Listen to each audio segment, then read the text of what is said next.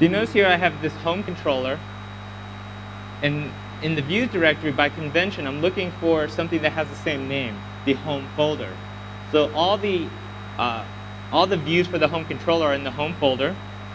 And not only that, you can see here that I have this index action method, uh, index folder uh, file view that corresponds to the index action method name. So by doing that, we, we can automatically hook up the view to the action method when you just return a view. If you want to change the name, you always have that option. I could say not index, and now I just need to create one called not index. But we're going to follow the conventions because that just kind of keeps things a little easier for you, less uh, repetition. And now what I can do here is do a little bit of razor, say view bag dot, uh, what is it, foo? And when I go to the home page, uh, did I compile? We can see that it shows up. It, so what's interesting about this, in case you're wondering, you notice here I didn't define foo anywhere, right? I just said uh, viewbag dot whatever equals bar. This is a, uh, in new in MVC3 we have this nice syntactic sugar for view data. So this is actually equivalent to view data of foo equals bar.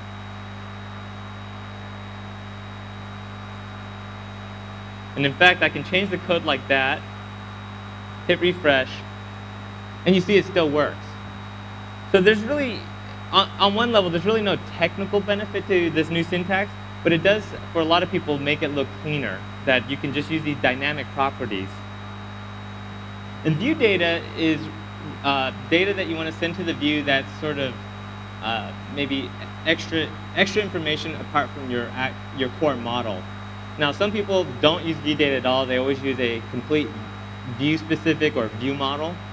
Uh, but it's really a matter of choice and preference, what, which one you choose. So let me switch it back.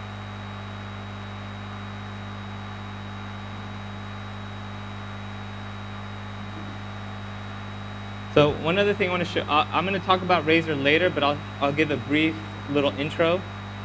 One of the things you'll notice here in this page is if you've ever done web forms, uh, used the web forms view in MVC 1 or 2, there was a lot, there'd be a lot more junk in here.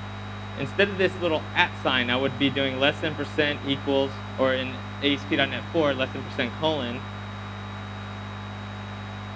and this sort of thing right? Where you, every time you start the code nugget, you have to end the code nugget.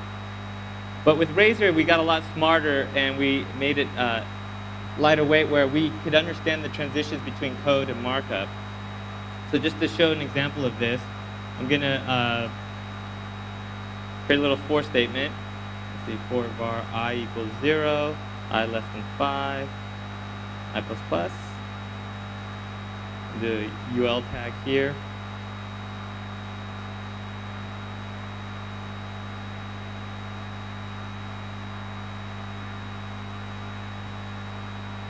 So you notice here that a uh, couple things to notice. I use this at sign to transition to code. So I did a line of code, and then I, op whoops, I opened up the block statement with the open curly brace. Now, as you know, with the block statement, you have to close the block at somewhere. And notice here, when I closed the block, I didn't have to tell it that, hey, we're back in code.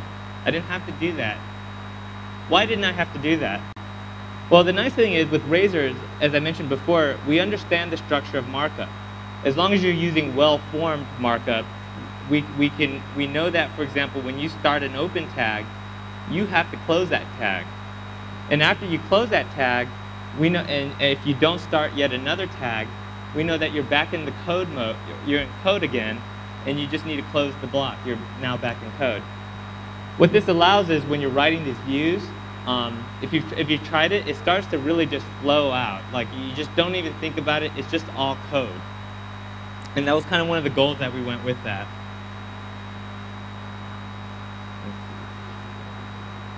Let's skip that. All right.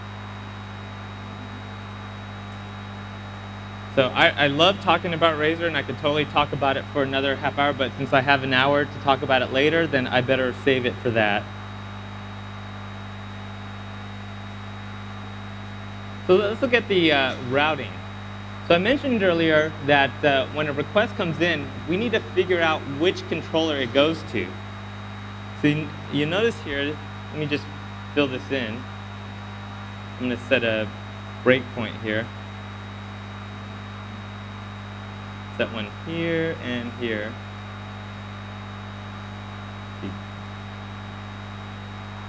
So what I'm doing here is I'm attaching to the web server.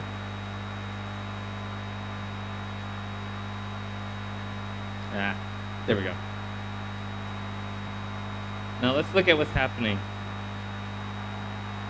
So you notice here that the URL that I'm requesting is slash home slash index. Slash home matches the controller name, home. So by default, what we do is we look at that aspect and we append controller and we look for a type that implements iController that matches that part. And then the other part of the URL is index. And you notice here that we have an action method named index. So that's how we match up the URL to what code we're going to run when that URL comes in. Now, it may seem like we're doing that by, uh, by convention and in a way we are, but this convention is fully under your control. And it all happens within routing. Oh, okay, I keep using the wrong keyboard shortcut. So you notice here in global.asax.cs, I have this method here called register routes. And in here we have two routes by default. One is an ignore route, and one is uh, the default route. And the thing to note here is that the, the route contains uh, a couple of pieces of information. The important thing here is the URL pattern. What this is, is this tells the route what kind of URLs to match. I'm going to match all three segment URLs. And when I do, I'm going to parse those three segments into three different buckets. One with the name controller, one with the name action, and one with the name ID. And I'm going to hold that information in, in, a structure called the route value dictionary. And that becomes really important because that dictionary means something. Uh, for example, the controller value is how we locate the controller class. The action value is how we locate the index. And then the ID is a parameter into your action method. But the other thing to notice here is we have this little weird object, anonymous object here, and this is kind of a, a little trick or a little hack that we do where we take an anonymous object and we treat it like a dictionary. And this value, this uh, particular one is specifying default values. It's saying, so if, you didn't specify the controller, use home.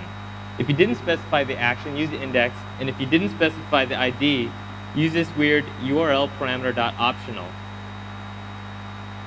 What that means is uh, don't even add ID to the dictionary if it wasn't specified. Because if you didn't have this, it would add maybe an empty string into there. And that might actually mean something different than it not being there in the first place. So I want to make sure that's clear. The... Oops. Okay, there we go.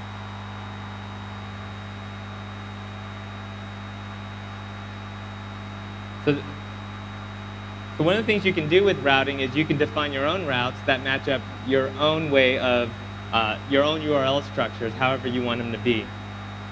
Let's look at, I mentioned passing in parameters into the action method. This part I think is uh, part I really like about uh, MVC is that it makes it really easy to pass in parameters into your methods. So let's start with a simple one, string ID. And I'm going to change this message to append that ID.